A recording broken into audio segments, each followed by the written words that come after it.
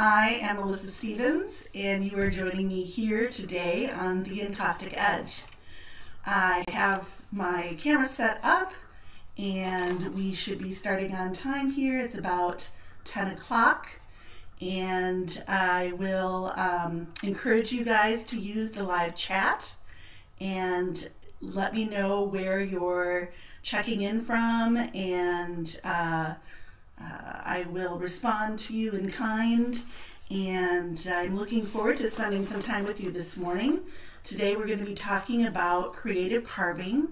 Um, as you can see, I have my table set up here with some encaustic boards and some more traditional encaustic carving tools.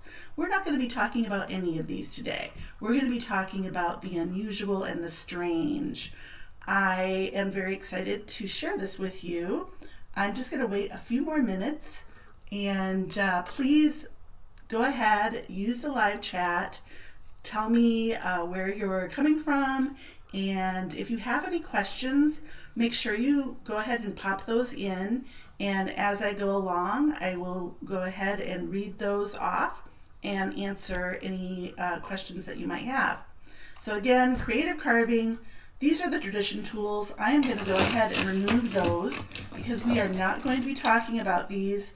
Um, these are like uh, dental tools and scraping tools, X-Acto knives. These are used for a, a variable uh, texture and line. Um, so we're just going to put those aside right now because we are not going to talk about those. All right, so here we go. We are going to talk about the unusual carving tools. So the ones that I have for you today are a compass. A compass you can get at the drugstore or a Target, or you can buy them at garage sales a lot of the time. So it's a very inexpensive tool. And I'm going to pull this out of here. And uh, as you can see, you can, uh, this one's really, really small. There are others that are larger that would give you a broader, bigger type of circle. This is, this is if you wanted to make that perfect circle. Uh, there's a lead here at the tip and this is your, um, actually this is the lead, and this is your tip that you put into the center point and then carve around. It's very cold here in my studio, so I am going to go ahead and warm the surface area before I go ahead and carve the line into the board. Um, so let's go ahead and do that. I'm using a torch this morning and I'm not warming the board to melt to fuse the wax. I just really want it to be kind of warm and tacky so that, that, that feels pretty good, so that the tool will be able to indent onto the paint and make a line. So I'm going to try and do this so that you can see well. So I'm going to kind of hit it lightly first, and then I will make it a little deeper. It's like my lead is moving a little bit. So there you can see I've got a really nice shaped circle and you can see that my lead kind of got bogged down with a little bit of the warmer wax. Um, and it also moved a little bit. I probably could tighten that a little bit.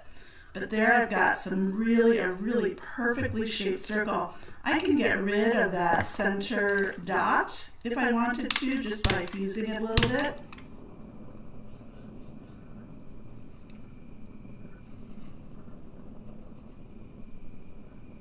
Very slowly so that I don't damage my other line or I could go in later and, and paint over it as well. So at this point, I'm just going to go ahead and leave it the way that it is. I can then go in on top of that with encaustic paint to fill those lines. But this morning, I'm not going to be using any encaustic paint. I'm only going to be filling line with using uh, the R&F uh, encaustic sticks, the oil sticks. This is a blending stick, and uh, the blending stick is used first so that the color that I use later doesn't uh, stain the encaustic paint. So it'll come off clean. So I'm just going to rub a little bit of that on my board first. Very, very little goes a long way. And then I'm going to go ahead. This is uh, R&F uh, Graphite Gray. It's one of my favorites. And it just allows for a little bit of a tint. And I'm going to go ahead and use my finger to gather a little bit of that oil stick and then rub it directly on there. Push it down into those cracks. And then I'll take a paper towel and wipe away the excess. And you'll see that beautiful line that's created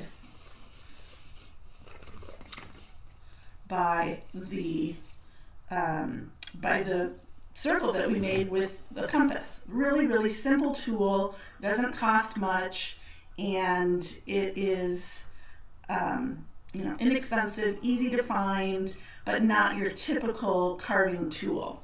So I could go in and do multiple circles, create my whole design based on um, on making circles with the compass. So I'm going to go ahead and put that away for now. All right, so Another unusual tool is, um, well, you know, I'm going to start out with a story first. So, my family um, loves to kind of have fun with me as we go around, and, and I kind of think about things really differently than the rest of my family. Um, my parents were moving out of their home and moving from Texas to Minnesota, and they were getting rid of a lot of the things in their uh, in their home. So I went to Texas to go and help them kind of unload all of this stuff that they had in their house, and um, my my parents were like, "Oh, go ahead and take a look in the kitchen in the garage and find what you can you know use at home and go ahead and, and take it before we sell." and I was uh, looking in the kitchen with my sister, and I picked up this pasta cutter. It's, it's an old pasta cutter with a, the little lid here, and then it's got this great uh, spiral round part here. And I thought, oh my gosh, that's just perfect. And my sister looked up at me and she said, I didn't know that you made homemade pasta. And I said, no, no, no, no, no, I don't. This is for art. She's like, oh, she's like, you really look at things differently than the rest of the world. And it's true. I think artists have a knack for looking at something, seeing what it's actually used for, and then thinking beyond that and saying, hmm, what can I do with that? So that's what I was thinking when I found this pasta cutter. And you could probably pick one up at the dollar store or find one again at an estate sale or a garage sale. Um, so again, it doesn't. Your tools don't need to cost a lot, uh, and you're going to find as I go down this list that there is a lot more that is like practically free. So again, cold in my studio. So I'm going to go ahead and warm my uh, encaustic painting one more time, just in the area that I'm planning on using the pasta cutter just to make it kind of warm and tacky. Feels pretty good. And then I'm going to go ahead and, wow, look at that. I'm going to bring that a little closer so you can see. You see those lines on there?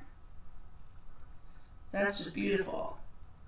Nice thin lines all parallel with one another. This is a lot easier than using an X-Acto knife and trying in a ruler and doing line after line after line. Um, I could even go ahead and do some cross hatching,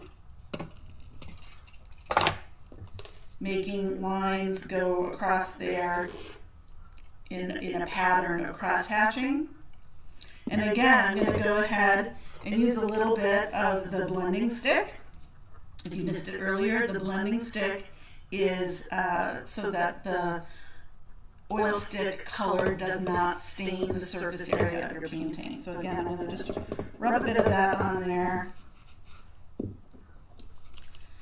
Sometimes the oil stick, also depending on the color, the reds and the blues, the really highly uh, pigmented oil sticks, they have more of a tendency to stain the encaustic paint uh, than others. Again, this is this is just the slice that I took off the top of the oil stick, and very often I will use the leftover ink that is in the skin that I cut off because, like I said, a little bit of this stuff goes a really long way. You can see how I'm rubbing that in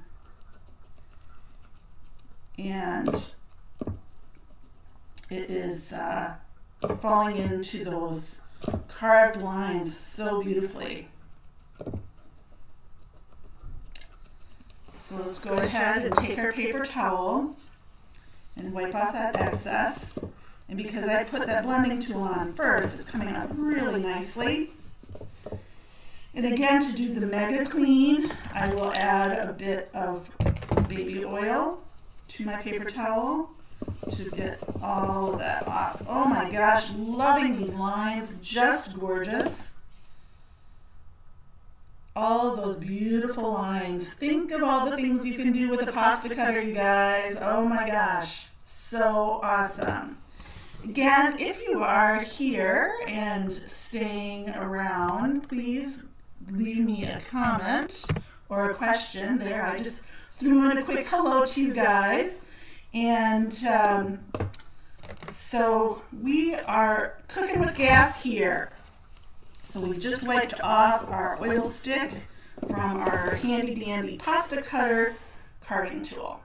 Unusual, fun, lots of uses. Now this next one is, this next creative carving tool is one of my absolute favorites for creating really full-bodied backgrounds for paintings.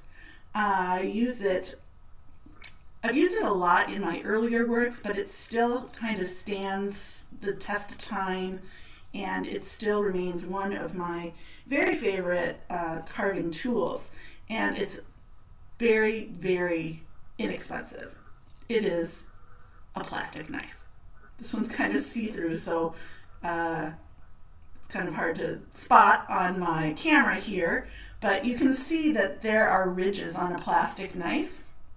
Uh, you could use a metal knife as well, or you could try using a steak knife versus um, a knife that cuts bread. They all have different uh, teeth on the end here. Plastic knives are great because normally when you buy a pack of the plastic knives, forks, spoons together, um, I know when we have parties, it's mostly the forks that are used and not the knives and the spoons. So a really great way to use them is in your encaustic studio. So the thing that I love to do with these edges, I can very well make lines just like I did with the pasta cutter, doing just straight lines with those teeth which can be really pretty, but I love to do cross hatching. And it is so fun to just kind of work across your board and you kind of get into a rhythm. Just remember to take the excess wax off of your knife so that it doesn't bog down on top of your surface. Um, the worst thing is when you're carving or cutting on your board and you end up with a big smear of all of that encaustic paint that you has built up on the surface of your carving tool and you just and it slides across and then you have to rework it to try and get all of that off. So here I'm creating the cross hatching on the surface area of the painting if you can see that in the light. There we go. my lights keep popping on and off. I'm not quite sure why. Um, so that is pretty good. All right, so that is just beautiful.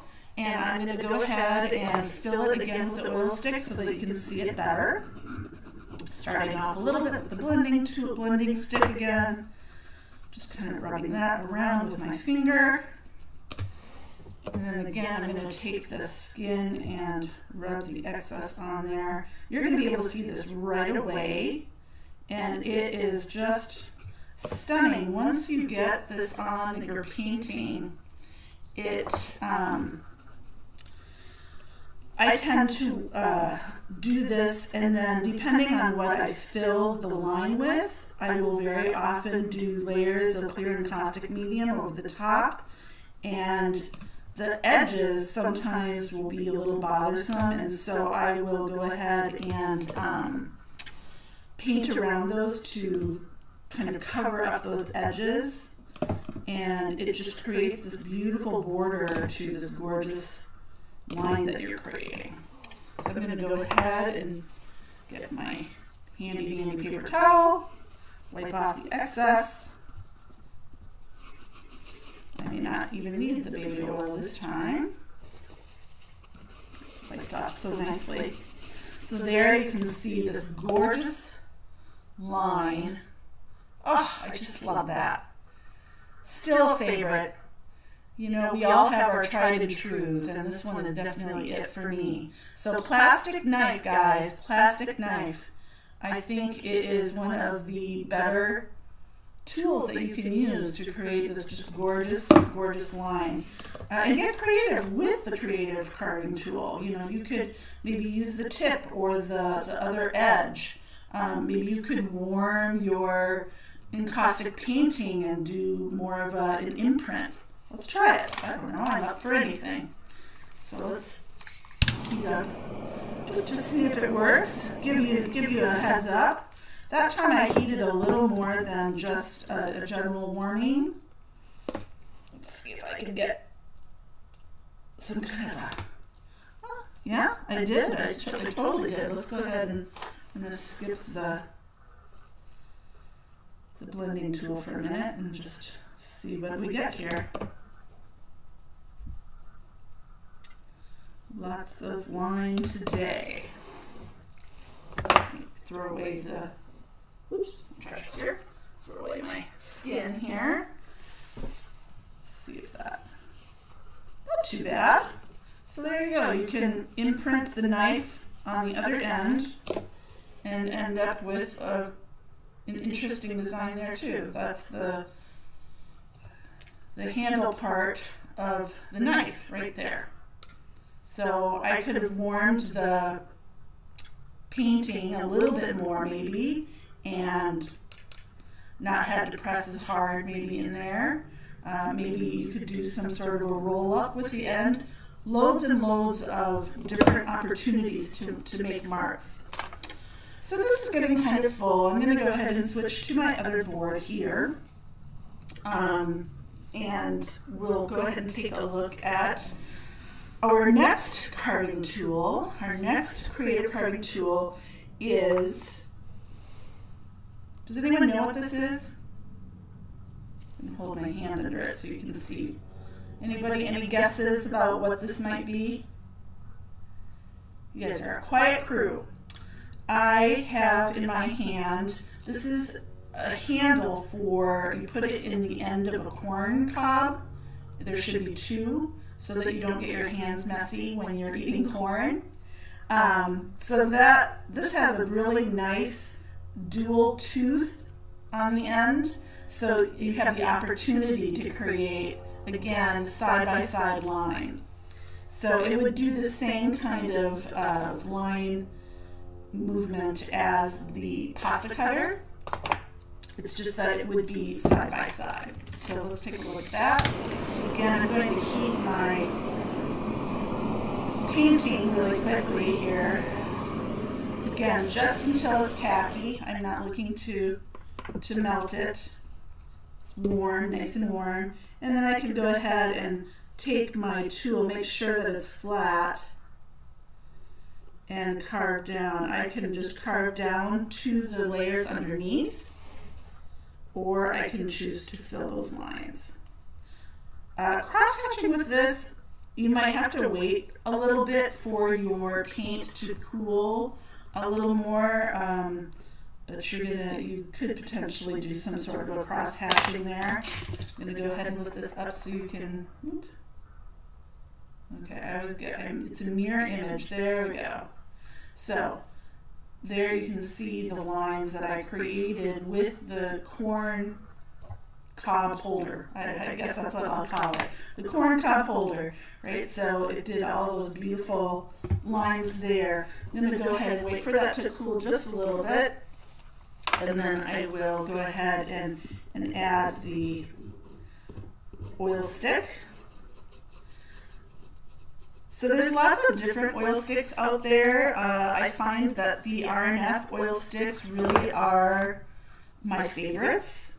Uh, they are always soft in the middle. Sometimes there's another brand that I will buy, oh, and the name of it is escaping me right now, but you can buy this other kind and it will get really, really hard on the edges and um, the the consistency of the oil paint inside, although it is soft, it takes a little bit more effort to get to it.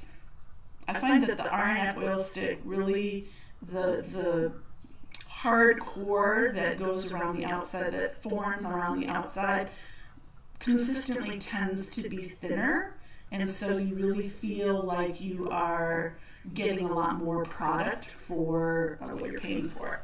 So I'm going to go ahead and this is a white, titanium white that I'm putting into here because my painting is darker.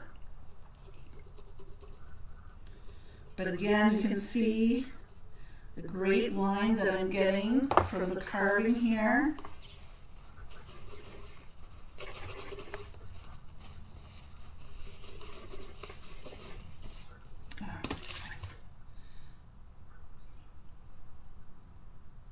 So do you see the detail on that line? trying to give you the best look here. So I could go in and obviously I'm just showing you the line. Um, I would eventually have to fuse all of the oil stick that I embed into these lines. You can't just leave it and paint over the top of it. You could potentially do that, but you would have to wait for that oil paint to dry completely. So the key to uh, fusing this is if you want to maintain the lines that you've got, you do a light fusing and then you check it with your hand to see if it's if it's done. Uh, if it's not, you do another light fusing. So I'll go ahead and show you how I do that. So I'm going to turn my down a little bit. I'm just going to do a quick light freezing. You might see a little bit of bleeding going on with the paint, but with these lines, that's not a huge deal because you can, after your wax cools, you can just go in with a straight blade and, um, okay, I'm sorry, I have to turn this light off. It keeps blinking. Pardon my, oh, I'm gonna have to go around, my apologies.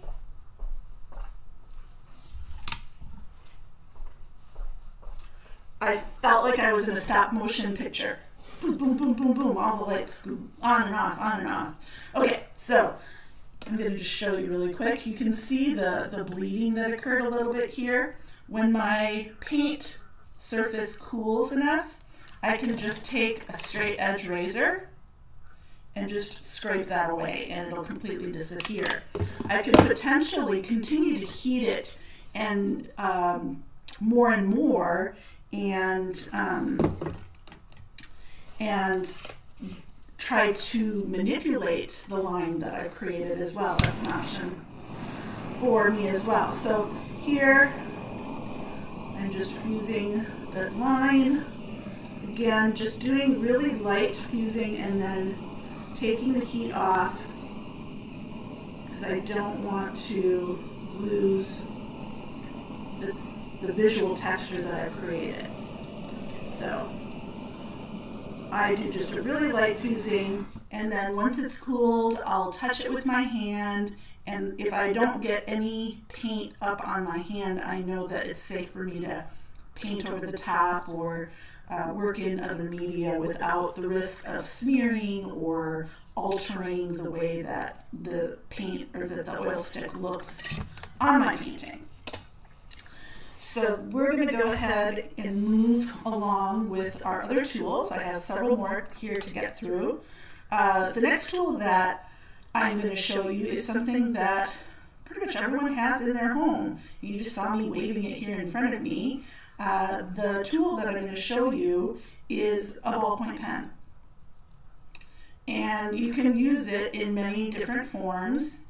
Um, the kind that I like is the one that has the, the cap that you take off because you can use the cap in a lot of different ways to carve with. There is a hole generally on the top of the lid. You can see through it to my painting even. And I like to use that to make these little circle marks makes these really great little, well, it's hard to see it on the camera. They're right here in the dark. I'll go ahead and lighten them with the oil stick and you'll be able to see them. You can also carve using the pointy part of the lid and make a line with that. And you can draw directly onto your board. It doesn't, your pen does not need to be working at all. In fact, it's probably better if the pen is broken because then you're not destroying the pen. So I went ahead and just carved in some line there.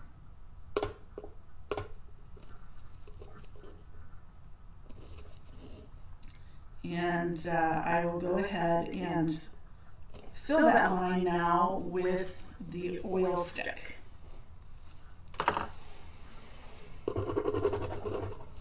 So that you can see it better.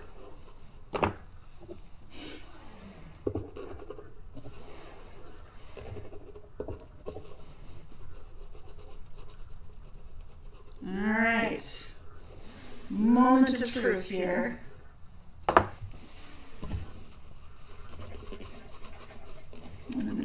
Job of filling that.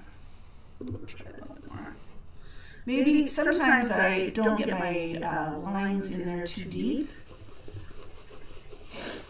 in which case the oil stick doesn't stay too long in it before I, if I wipe it off, I'm getting more of the surface area. But there you can see those beautiful uh, pen tip dots that I created. And this is my drawn line with the pen. And this is the line that I created with using the, the pointy part of the cap. So that is a great option. I'm going to maybe try and do some other line here. That's a little deeper than what I did before. What do I got here? Okay. So that's better. I wasn't pressing hard enough.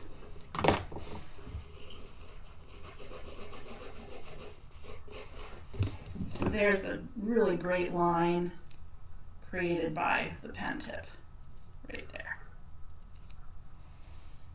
I feel like you have better visibility on this white one, so we're going to go back to that uh, so you can see a little bit better because some of these tools make really small marks.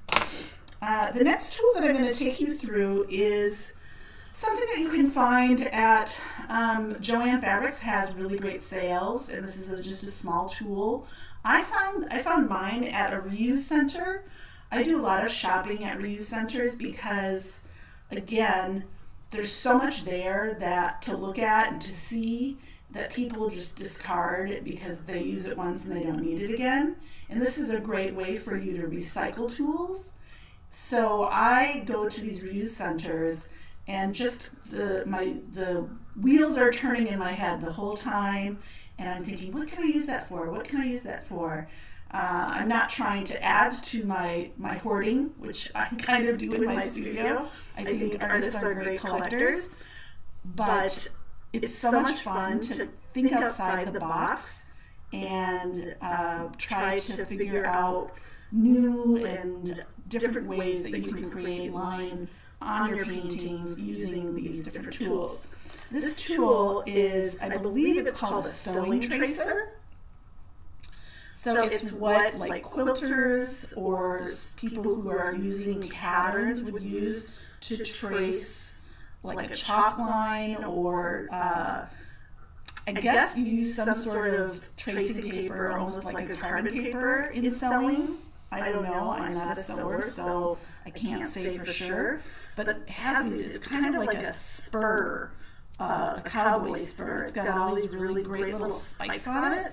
So I'm sure that you've seen paintings that have like these little dotted lines, and it actually looks like the artist has taken a needle and thread and sewn little dots across the scene. And that is just, a, it's such a magical kind of line that can be created. And I just love it. So I'm going to go ahead and heat my board just a little bit. Again, if your studio is warm inside, you don't need to, if your boards are already kind of room temperature, you don't need to do that. Right now it's probably about 40 degrees in my studio, so it's a little chilly. So I'm going to go ahead and I'm going to use my tracer. Oh, oh I just love this. It's so pretty. So there I've got really great dotted lines. I don't even need to go in a straight line. I can make it rounded. You can do it any kind of style that you want to see that you're very far away. Can you see those dotted lines that I made? Trying to hold really still so you can see. Ah, I just love them. So again, I could leave those as is, or I could go ahead and, and fill them. I'm going to fill them and just see if you can't see them better on the board.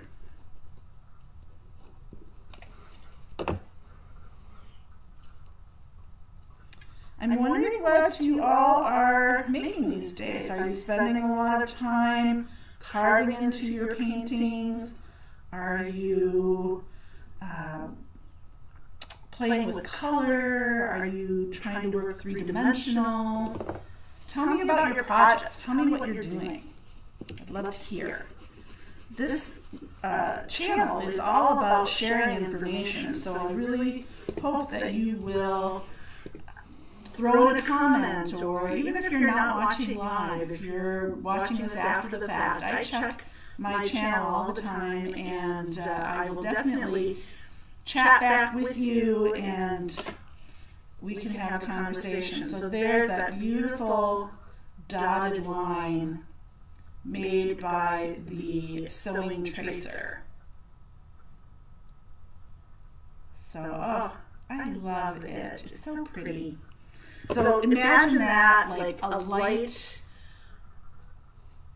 bright, light yellow or white on a dark background, or like you can really uh, play with your sight lines by adding great textural uh, lines like using the sewing tracer. Mine comes with a little lid, it's a little plastic lid that fits on top, and I find that it is kind of sharp. And so if you're like me and you set all your tools upright in a can, you go reaching in, it is good to kind of keep the lid on there so that you don't cut yourself. All right, we're getting near the end. I got three more. So along the lines of creating these dots on your surface area, I have a tool. It is an art tool, but its original use is for paper. And this is a paper embosser. You guys familiar with these? So the embossers have different tips on them, this, and, and they all have little balls on the end. This one is rather a small ball, and this one's even tinier. It's almost like a like a pick. It's so small. Um, but it's, the embossers are used, you use patterns like a stencil, and you uh, use the ball end to trace the stencil on the paper, and then it makes the other side of the paper raised. So it embosses it, duh. So uh, I use my embossing tool to create dots. So I've already kind of got a dot inside my, uh, my circle that I created with the compass. So I'm just going to go ahead and continue to make more polka dots in there. You do end up getting a little bit of buildup on the tip, so you want to make sure to remove that as you're using it.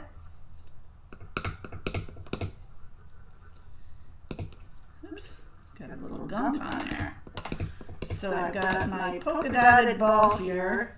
So it looks like it didn't clean and fast enough and it took a little bit more off there than I wanted it to. Okay, and then I could come in and even use the small polka dot one. All right, I'm going to go ahead and fill the line that we created here.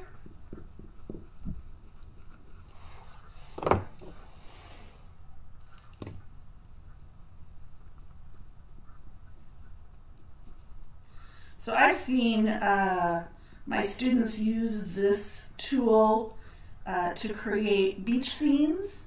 They'll use the little dot maker on top of the embossing tool to almost emulate grains of sand or um, I like to just use it to maybe add a little bit of interest on a line or on uh, a section that maybe needs a little bit more, maybe it's getting lost in the scene or something like that.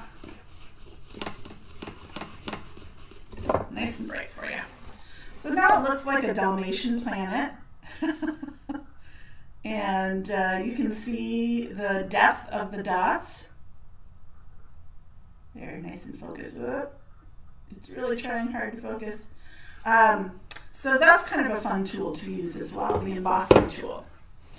And there's no risk of you, well, you could poke it yourself with the tip, but it's, uh, it's round, so you're not going to cut yourself. The next one that I have is, again, something that most people have in their homes all the time, and you can buy them by the box load and uh, never run out, it seems. Um, you can make chains with them. You can do all sorts of different things with them. Uh, but I like to use them as a carving tool, and that is a paperclip, the humble paperclip. Um, you can use the round side and you can use the pointed side, and there are different size paper clips too. So it, it's very versatile. I'm going to go ahead and use the bigger one first so you can kind of see its carving power. And I'm going to use the bigger board here because this is going to take up a chunk. Again, I'm going to warm the surface of my painting a bit.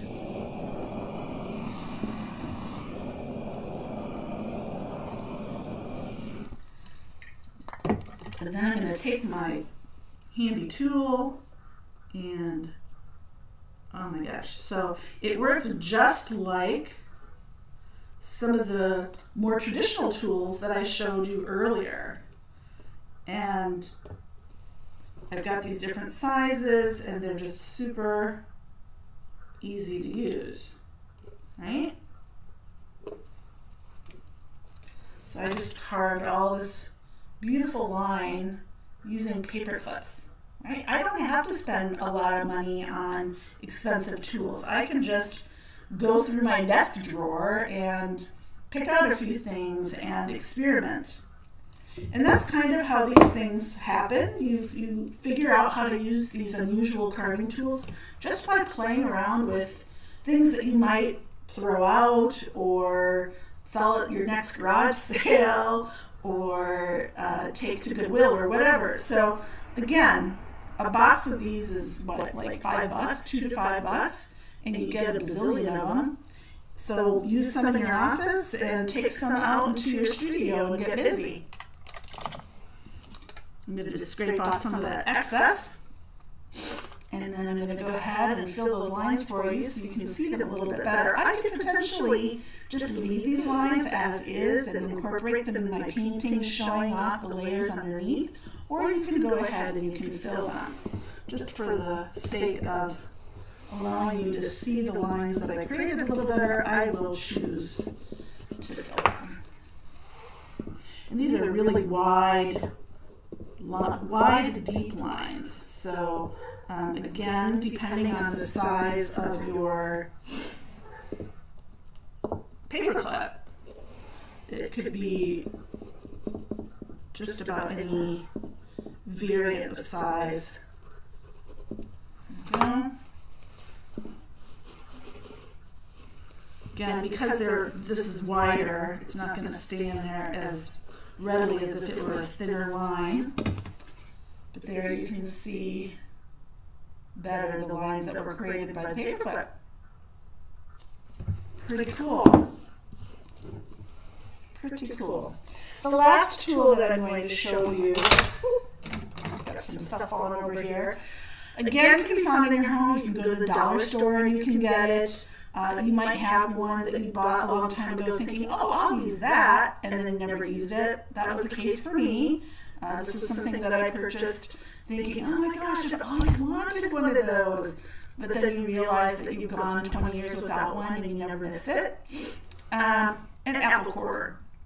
Now, some of you might be big uh, apple, or this might be actually this might actually be for peppers. It looks a little small for an apple. You could use an apple core as well. This is for, I believe it is for peppers, like for um, jalapeno peppers or serrano peppers to take the middle seed part out. You stick it down into the into the pepper and turn it, and it's supposed to tear it out.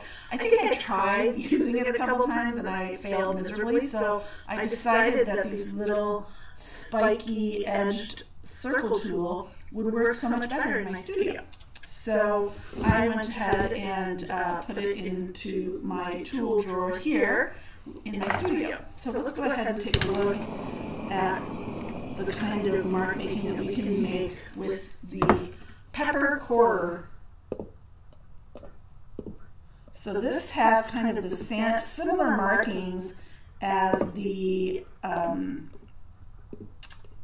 what is it called? The sewing tracer. I always forget the name of it and but it's in a circle form. So that can be really, really fun and uh, give you a lot of possibilities for design.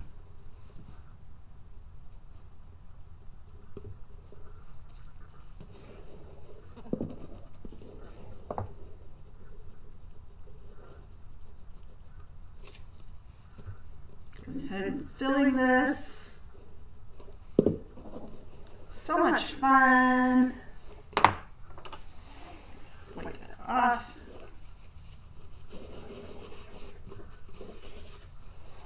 My paper towel is a little dirty. I could probably use a clean one, but we're here at the end, so I'm gonna stay the course. And there you can see those great circle shapes, so pretty and they look like they were sewn on there, you know? Can you see them? So that there concludes my show. I wanted to go ahead and remind you guys to uh, to go ahead and hit the hit the subscribe button below and make sure to type in your comments and ask questions. I look forward to spending more time with you. But thanks for joining me today. Have a good one. Bye-bye.